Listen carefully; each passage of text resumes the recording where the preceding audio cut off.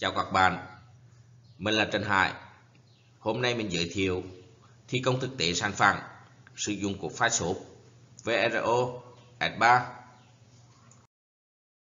Thưa các bạn, trước hết chúng ta cùng tìm hiểu về cấu tạo của tấm panel 3D sàn S3 gồm có các hộp xốp định hình đúc nguyên khối có lỗi xuyên tâm tất cả được lồng vào một khung thép panel 3D khoảng cách bằng một thân sườn cấu tạo.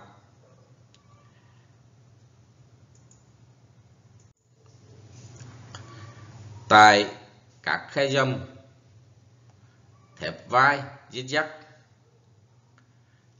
liên kết chạy theo hai phương. Hộp sộp được phân cách với thép, bằng cục kê bê tông và kê thép hoặc kê nhựa phía dưới. Đây là mặt dưới của tấm panel 3D các thân thép nhỏ là thép định vị và nâng hộp xốp. Các lưới nhựa hoặc thân thép dệt là đỡ hộp xốp mặt dưới hộp xốp có gơ hay còn gọi là chân, để chống đầy nồi tôi đã giới thiệu tác dụng của gơ chống nồi ở video trước. Nếu các bạn cần giải thích thêm, hãy comment dưới video tôi giải thích tiếp. Các thân thép mặt trên của tấm panel 3D là các thân thép nhỏ, có kê bê tông. Các thân thép tại khe dông là thép chịu lực chính tăng cường mặt trên.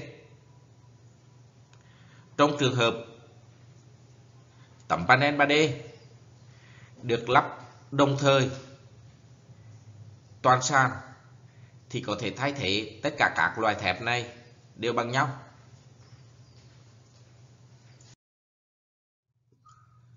Giáo chống sàn là tất cả các loại giáo có trên thị trường đều có thể sử dụng được.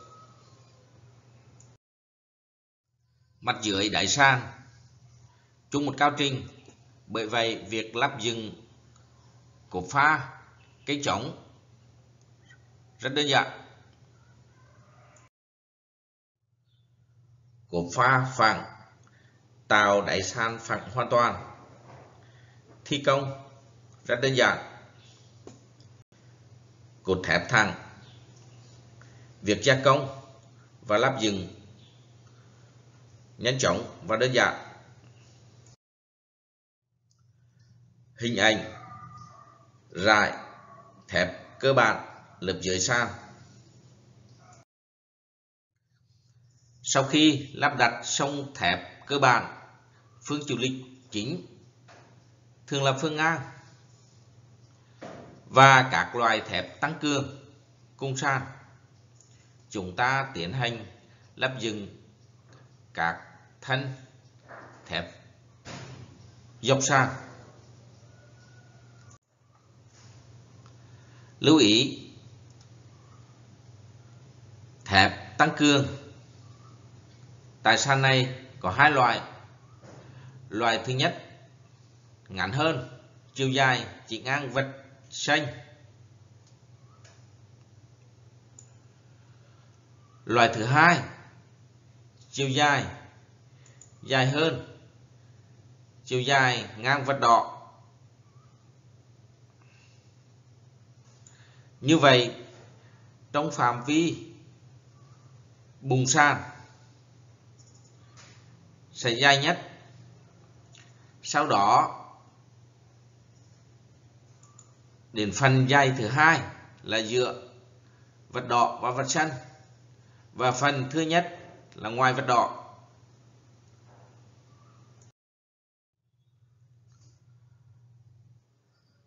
Đây là ranh giới của thép tăng cường em vệt đỏ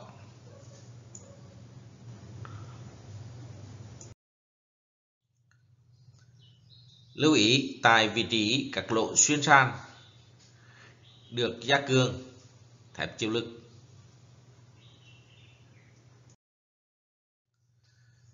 Sau khi lắp đặt xong thép lớp dưới, chúng ta tiến hành lắp dựng tấm panel 3D hoặc có thể lắp dựng tấm panel 3D trực tiếp toàn sàn. Trong trường hợp này, chúng ta áp dụng lắp tấm panel 3D liên khối cho toàn sàn. Ở đây là module của thép chống cắt. Chúng ta nhìn phạm vi đây ở trạng thái đặt ngựa sau khi lắp dừng chúng ta quay úp xuống lại. Thì à, các bạn để ý, dưới chân của thép chống cắt, thép vai chống cắt, được hàn một thân thép la. Thân này có tác dụng là đỡ hộp xốp, vì hộp xốp mềm, cho nên nó chống lún, nó nâng nâng hộp xốp lên đáy sàn bằng chiều dày lớp bê tông lớp dưới.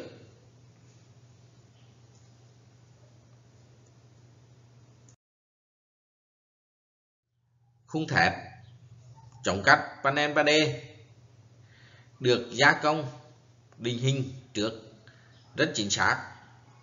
Nên việc lắp dựng lên sàn đảm bảo chính xác, thẳng, hàng ngang, hàng dọc.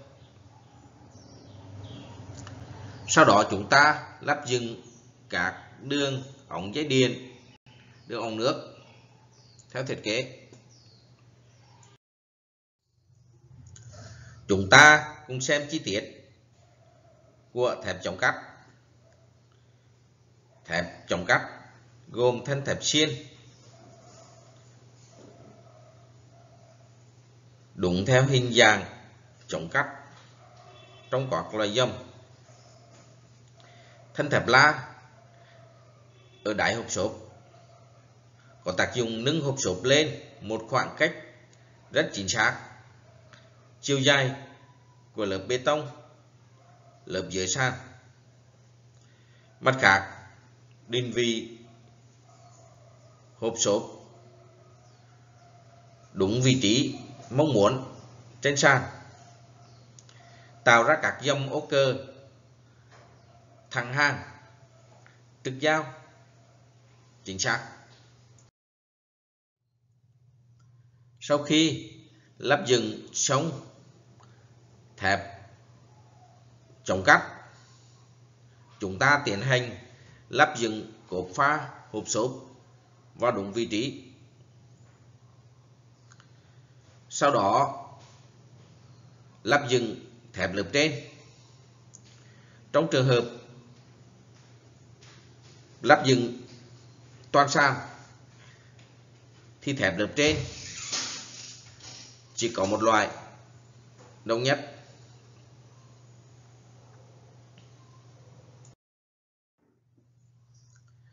Tại vị trí lẻ có thể cắt số đối với hộp sụp đặc mới có thể cắt được như thế này.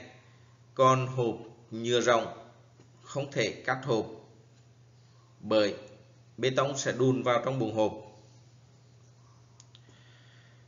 Tại nằm đầu trụ, chúng ta tăng cường thép lớp trên, ngang và dọc.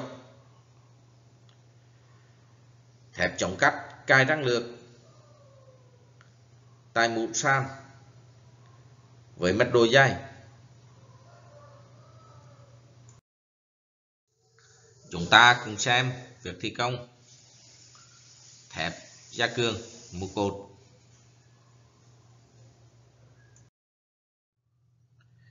Tại các vị trí ống nước, đúng hộp xốp, chúng ta có thể khoét hoặc cắt hộp xốp đặc đối với hộp nhựa rộng, không thể thực hiện được như hộp xốp đặc tại các vị trí có đường ống nhựa xuyên qua hoặc đi trong sàn, chúng ta tăng cường thép xung quanh đường ống. Chúng ta thấy cột phát trong và thép sàn được thi công rất chính xác và đồng đều. Mọi công việc được triển khai chi tiết và kỳ lượng sau khi nghiệm thu xong cột phát số và cột thép cột phát thân bên chúng ta tiến hành đổ bê tông lớp 1 bê tông lớp 1 chỉ vượt qua chân hộp xốp từ 2 đến 3 cm. Đối với sàn nhỏ, việc đổ bê tông lớp 1 có thể thực hiện cho toàn sàn. Việc đâm bê tông cũng tiến hành đồng thời.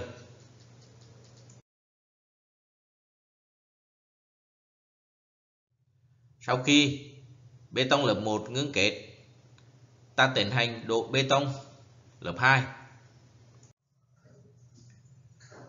Việc đâm nén và đi mặt bằng cũng tiến hành đồng thời.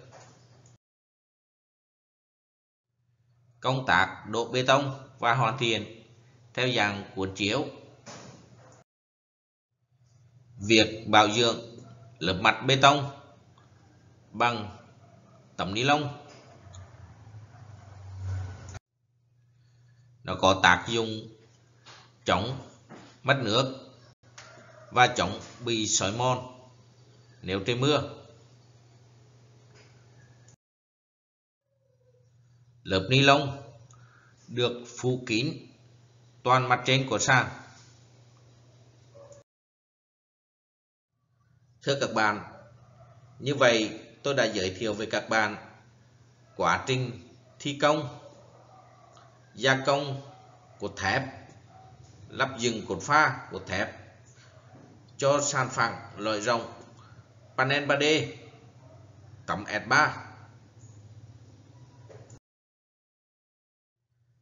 những video hữu ích dành cho bạn, nếu chưa đăng ký, hãy đăng ký kênh và rung chuông để nhận nhiều video mới của chúng tôi mỗi khi cập nhật. Cảm ơn bạn đã quan tâm theo dõi. Chúc sức khỏe và thành công!